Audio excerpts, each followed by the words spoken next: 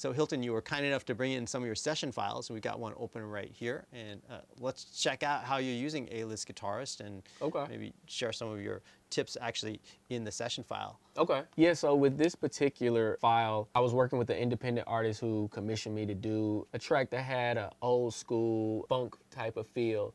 And you know, they wanted live instrumentation and you know, all those elements that really make up that feel good funk groove. And so this is what I came up with and uh, the reason I thought this would be it would be good to show is because I used a lot of Propellerhead refills, rack extensions, factory sound bank, and there were a couple third-party refills I used, like Miroslav for strings and some horns. Nice. And I want to say maybe a couple other uh, third-party refills for like some percussion loops, maybe. But just walking through it, uh, I guess we'll give it a listen first for a little bit. Yeah.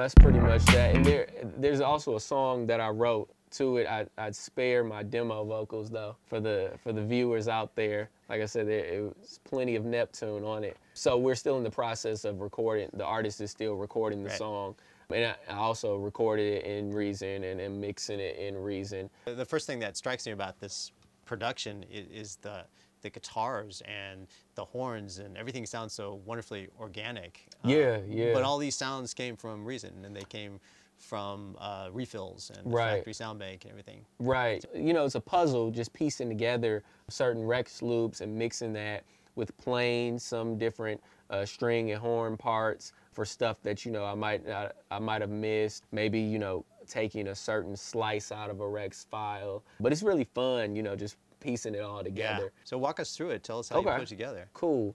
Well, yeah, I'll give a quick overview um, of the rack and just kind of show you how vast uh, that is.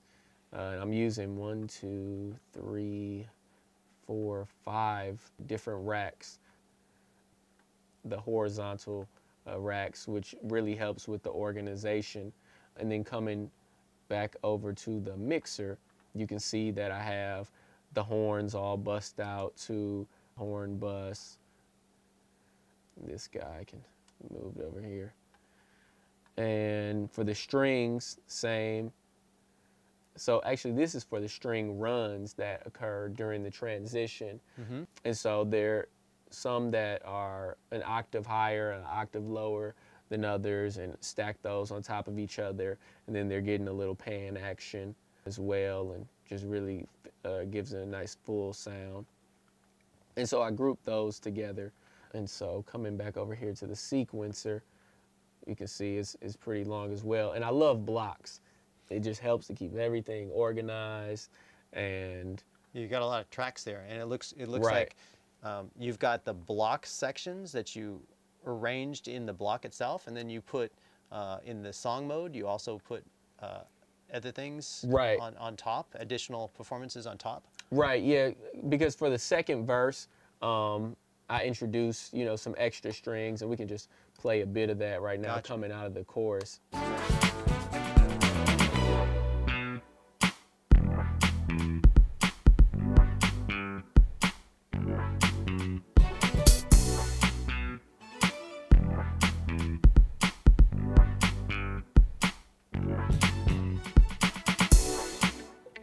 So, you know, just adding that, it wasn't going to be in every verse.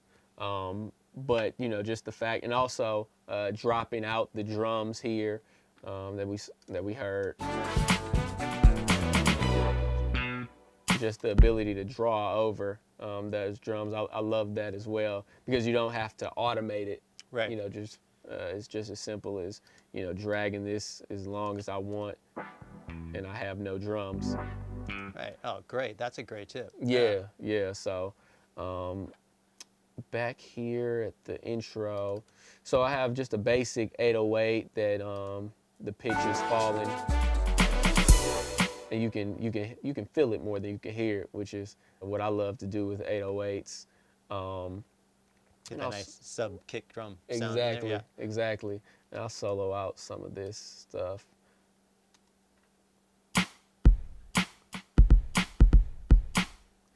So just real basic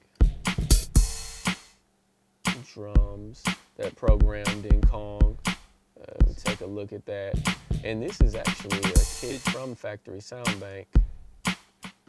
Did you use uh, redrum to uh, write the pattern for this as well, like you were showing us Um, before the template? You know what? No, I don't think I did. Yeah, because we'd see the information here. And so there wasn't anything going on in redrum uh, for this. So this was just all programmed. You just dropped the beat right into the sequencer track. Right, yeah, so just programmed it using my controller. And so coming out of that. And then the bass guitar is from the electric bass refill.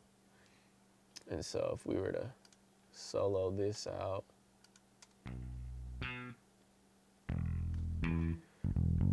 And so, of course, these are the old Line 6 amps, um, which now we have the great Softtube. And so, if we wanted to get an idea how those sound, we can just easily swap this out. Let me go ahead and Right, the new Softtube uh, bass and guitar amps that uh, are coming with Reason 8, Exactly. along with its new browser. And so, Yeah, they sound really warm. right. Go over to the effects. Uh, we can drag. Maybe we can just drag a patch on. Softtube bass amp. Right, so instead of even swapping out the instrument, that's great. Right. That is so cool. Yeah, no, I love it. And these bass patches that Softtube um, provided are just really great sound as you can hear right Yeah, there. a really distinctive, uh, distinctive difference in the sound. right, Much, much warmer, not so, uh, not so digital. right. Let's scroll through some of these, and there's already great samples in the Reason electric bass refill. So you know you put a great amp simulation on top of Right. that. Yeah, that that's just killer combination. Yeah. Right. Sweet. So if I bring this back in the context of the song.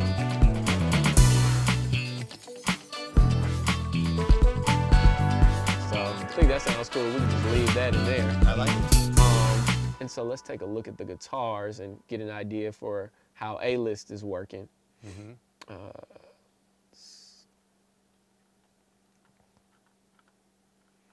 so one thing I love about A-List is it comes with a bunch of different styles already, which range from a standard set of phrases and then specialized phrases for the certain style type. But you can also create your own phrases by use of the matrix. Oh, really? So, and it's really like rolling the dice the way I like to do it because I'll randomize a pattern in Matrix and then connect it uh, to the electric guitar's re, and you know you you just see what you get. So this was really my first time. I randomized it, and let's let's solo this.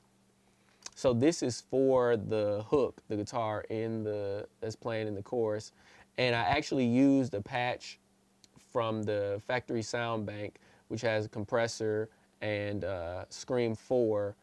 So it was just a combinator effect patch that you loaded right in there. Right. Right. Right. So, and you know, this is good stuff, and it, you know, in addition to the Softtube uh, Yeah. stuff that's out there. So, if we listen back to this.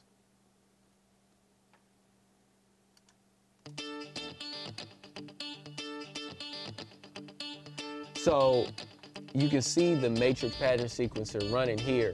And if I flip this around, uh, the note CV is going to the note CV input and the gate to the gate. And you know, I'm gonna just randomize this again so you can hear. So the first, when I randomized it the first time, I just liked the groove it was given. So essentially what it's doing is taking collections of different phrases and it makes its own new phrase Uh-huh. from that. So it just sounded cool and I just rolled with it. Um, Fantastic. yeah, so but I'm doing something different on this funky rhythm guitar, which I believe is in the verse. So I'll go ahead and play that.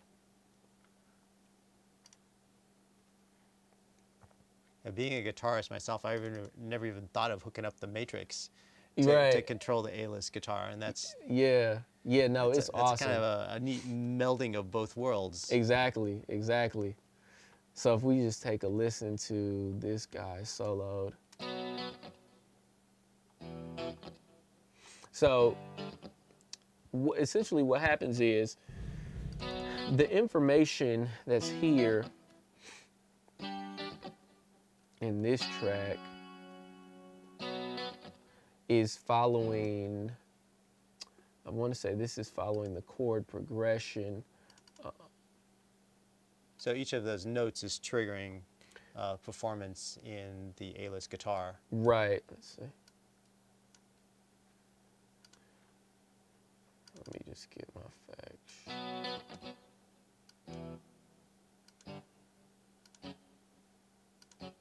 And then you, just the length of the note is determining how long that riff is being played.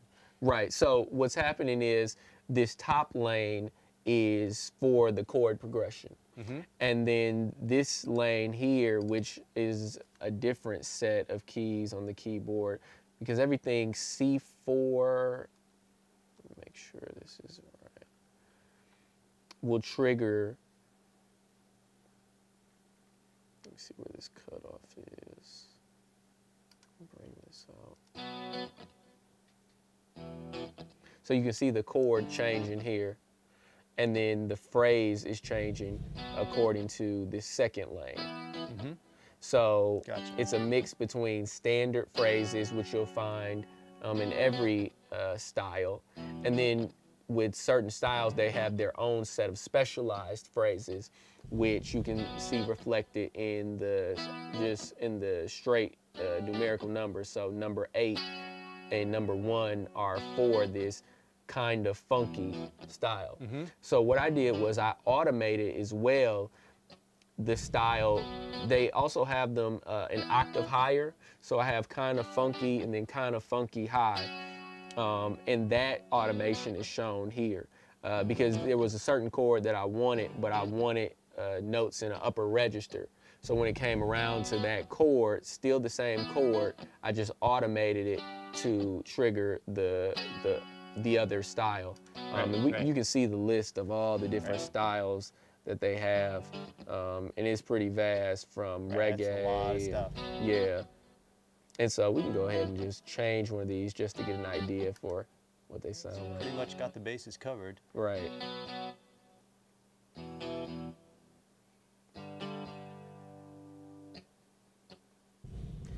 So, a lot of options, you know, for writing. Um, and this is doubled. Well, the doubling is off now, but when it comes around to the chorus, uh, I've automated to where it enables the doubling and just gives it, you know, that, like a chorus feel. exactly. Yeah. Chorus Uh, effect feel. Exactly. So uh, I, I love this read. Like I said, it's gonna be in a lot of my tracks. You know. I mean, it sounds it sounds just that good. I mean, lots of times, like you're doing with vocals, where you do a demo and then you have somebody else come in and re-perform it, so Right. you can record it. You're just using it as a songwriting tool, but this sounds that good Right. that Right. you know. And they're actual phrases, you know. Yeah. So I think that helps. Um, but I've layered this with another um, uh, with another Rex loop. Uh, so and this is for the pre-chorus part, um, right before the chorus, and Mhm. and so it just gives a, another great. And let me bring it in with everything else.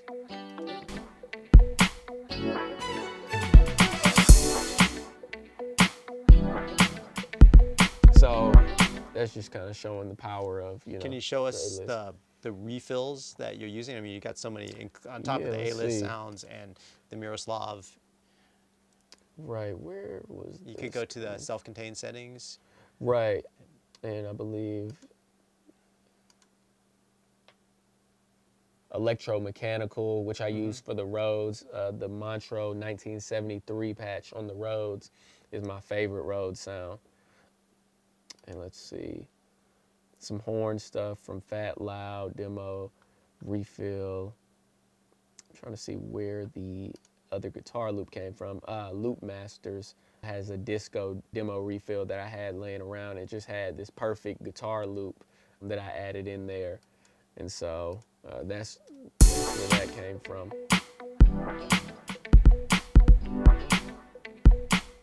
And so now I'll take a look at the horns, which are in the chorus. If we zoom back up here, I'll solo out just this bus.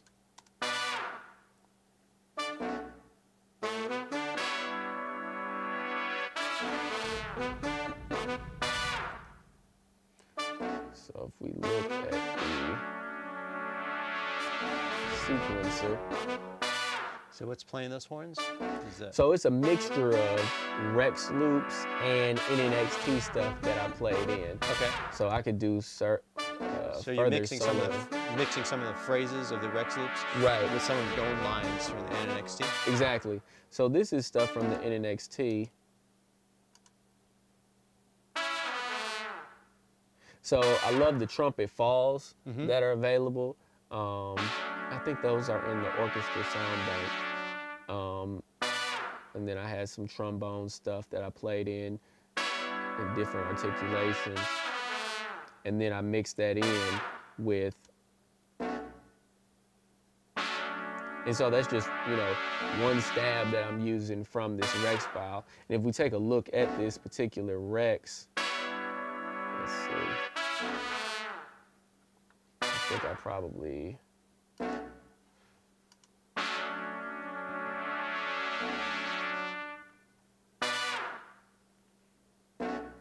So yeah, it's just showing us one stab.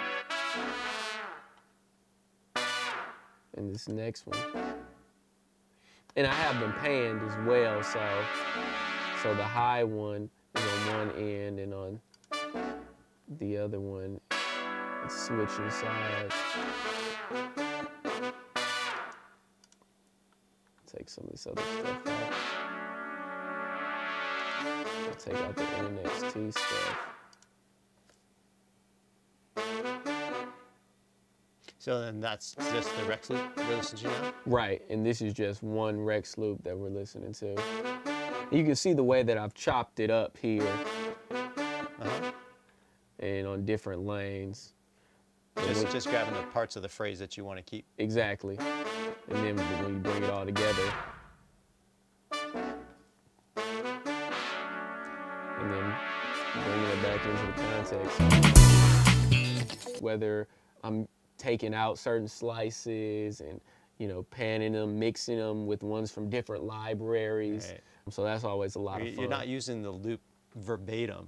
Right, and sometimes I will, depending. Uh, Yeah. But for this, the occasion just called for me really pulling stuff out of everywhere. Well, it sounds amazing. I mean, the the, the uh, horn lines that you came up with. Oh, thanks, uh, that, thanks. That you, uh, and, and that's from you know you playing it and you using a Rex loop and Right. just those different resources and putting them together and, Right. and arranging them in such a way that they make good, solid musical sense. Yeah, yeah. So yeah, those are the horns, and um, in terms of the the string runs, I can give you an idea for uh, what that sounded like.